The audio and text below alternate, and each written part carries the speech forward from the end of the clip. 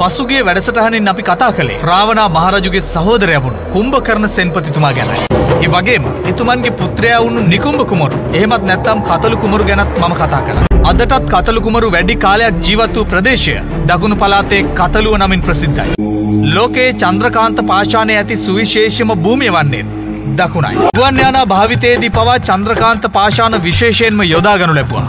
දිවා කාලයේ ගමන් සඳහා සූර්යකාන්ත පාෂාණවල ශක්තිය වගේම රාත්‍රී කාලයේ ගමන් සඳහා චන්ද්‍රකාන්ත පාෂාණවල ශක්තිය යොදාගනු ලැබුවා. මහා රාවණා යුගයේ ගුවන් ගමන් සඳහා යොදාගත් මේ පාෂාණ විශේෂ පිළිබඳව ඉහළම දැනුමක් රැස්කරගෙන හිටියේ කතලු කුමාරයා බවයි සත්‍යය. මහා රාවණා රජුගේ පුත් මේඝනාද කුමරු හා කුම්භකර්ණ මහ සෙන්පතිතුමන්ගේ පුත් නිකුම්භ කුමරු සෑම අවස්ථාවකම කටයුතු කළේ එක්වයි. යුදාභ්‍යාස, යෝගාභ්‍යාස, යන්ත්‍ර මන්ත්‍ර, වෙදකම, ගුවන් යානා භාවිතය ආදී බොහෝ දේ මොවුන් ප්‍රගුණ කළා. ගුවන් යානා තාක්ෂණය, ගොඩබිම් යානා වගේම නාවක යාත්‍රා නිර්මාණයක් මොවුන් සිදු කළා. දරුණු යුද්ධයක් සඳහා පහසුවෙන්ම මුහුණදීමට අවශ්‍ය සියලු ප්‍රහාරකයානා හා අවියායුධ නිෂ්පාදනය කළේ මේඝනාදගේ හා කතුළු කුමාරයාගේ මැදිහත්වීමෙන් බවයි සත්‍යය. මහා රාවණා යුගයේ මෙතරම් රත්රන් තිබුණේ කොහොමද කියලා ඔබ කල්පනා කරන ඇති. ඇත්තටම මේ මහපොළොවෙ තිබූ රත්රන් නිදියකින් ගත් රත්රම්ම නෙවෙයි. මේ රත්රන් කෘතිමව නිර්මාණය කරනු ලැබුවේවායි. ඔබ දන්නවා නිවිති පිළිබඳ. අපි ඒවා ආහාරයට ගන්නවා. බටහිර විද්‍යාවට අනුවත් නිවිතිවල යකඩ එහෙමත් නැත්නම් ෆෙරස් තියෙන බව බහල ඇති. යම් ප්‍රමාණයකින් යකඩ මේවාහි පවතිනවා. ඒ වගේම රත්රන් අඩංගු ශාක මේ මහපොළවෙ තියෙනවා. ඒවායින් බරපතල රෝග සඳහා ඖෂධ සෑදීමත් සිදු කරනු ලබන. හෙළ වෙදකමේ රත්රන් ඖෂධ සඳහා යොදා ගැනීම අමුතු දෙයක් නෙවෙයි. රත්රන් කියන්නේ ශරීරයට ඉතා යෝග්‍ය දෙයක්.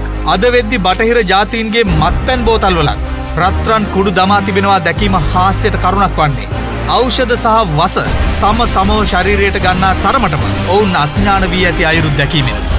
හෙළ වෙදදුරන් රත්රන් යොදාගෙන ඖෂධ නිර්මාණය කළා. බරපතල රෝග සෑදී මියයාමට පනාදින අතිශයින්ම දුර්වල රෝගී මේ රත්රන් මිශ්‍ර කර සෑදූ ඖෂධ භාවිතයෙන් පසු අමුතු දේහ ශක්තියක් සහිතව පණ ලබායනු ඇස් පනාපිටම දැකගන්න පුළුවන්. මේ රටේ මිනිසුන්ට මේවායෙහි අගය වටිනාකම දැනෙන දිනයක සිසි විටක ගසක් කැපීම තමා කොලයක්වත් කැඩීම නොකළ යුතු බව හදවතටම දැනේ.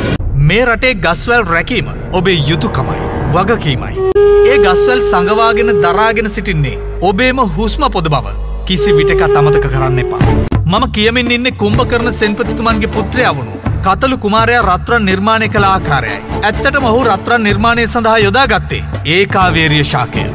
අදටත් ඒකාවේරිය ඕනෑ තරම් අපේ රටේ තියෙනවා. ඒත් කිසිවෙක් ඉන් ලබාගත හැකි නිසි ප්‍රයෝජනය ගැනීම දන්නේ නැහැ. ඒකාවේරිය වගාවක් ලෙස ව්‍යාප්ත කළොත් ඊට අවශ්‍ය අනෙකුත් රසදිය වැනි දෑ යොදාගත්තොත්. අනෙක් පාෂාණ විශේෂ හා ඖෂධ නිවරදිව යොදාගත්තොත්. ඉතා ඉහළ මට්ටමේ රත්රන් අපට යළි මේ මාතෘභූමියම නිර්මාණය කළ හැකි.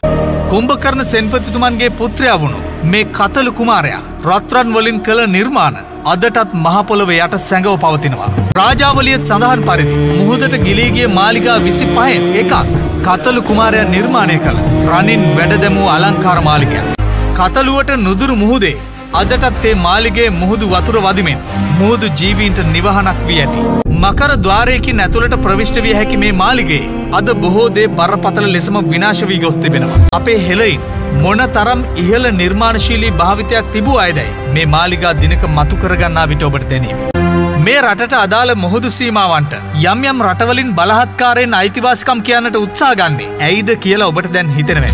මේ රටට අදාළ බොහෝ දේ මුහුදු පතුලෙස් සඟව පවතිනවා. ඒවායේ වටිනාකම අප නොදන්නවා වුණාට. වෙනත් රටවලින් ඒ පිළිබඳව අපටත් වඩා හොඳින් දැන සිටින නිසයි. ඔවුන් මේ පසුපස මෙතරම්ම ඕනෑකමින් දුවන්නේ. ඇතැම් ගැඹුරු මුහුදේ කිමිදුණු කිමුදුම්කරුවන්.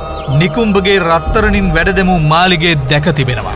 ලෝකයේ අප තවමත් සොයමින් සිටින සමහර සත්‍යයන් මහා රාවණා යුගයේදී සොයා භාවිතයට ගත් අය අතර ප්‍රමුඛස්ථානයේ කුම්භකරණීන්ගේ පුත් නිකුම්භ කුමරු සිටිනවා. ඒ අතර අප අද භාවිතයට ගන්නා යානවාහන වගේම දුරකථන භාවිතයක් තියෙන බව මම ඔබට මතක් කරන්න කැමතියි. ඔබ එකවරම විශ්වාස කරන එකක් නැහැ. මහා රාවණා යුගයේදී දුරකථන භාවිතය සිද්ධ වුණු බව. මොකද මම හොඳටම දන්නවා. ඔබ දන්නේ දුරකථනය ස්වාගැනීමත් එක්ක ඇලෙක්සන්ඩ ග්‍රහැම්බෙල්ගේ නම බව. ඒත් මම ඔබට හිතන්න යමක් එකතු කරන්න කැමති.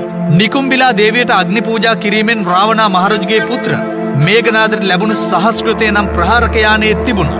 මහා ක්‍රමවේදයන් එකින් එක විමර්ශනය කිරීමේදී. අපට දුරකතන භාවිතය පිළිබඳව ඉංගි හොයාගන්න පුළුවන්. සතුරු යානයේ සිදුවන කතා බහ සහස්කෘතයේ ඉඳන් අහන්නින්න හැකියාව තිබුණ කියලා රාමායනයත් සඳහන්.